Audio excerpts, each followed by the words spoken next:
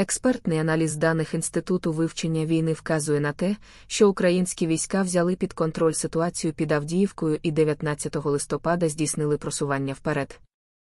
З інформацією від Інституту вивчення війни у зведенні зазначено, що ведуться активні військові дії у східних та південних регіонах України, незважаючи на погодні умови, які, ймовірно, уповільнюють темп бойових операцій у зв'язку із наближенням зими.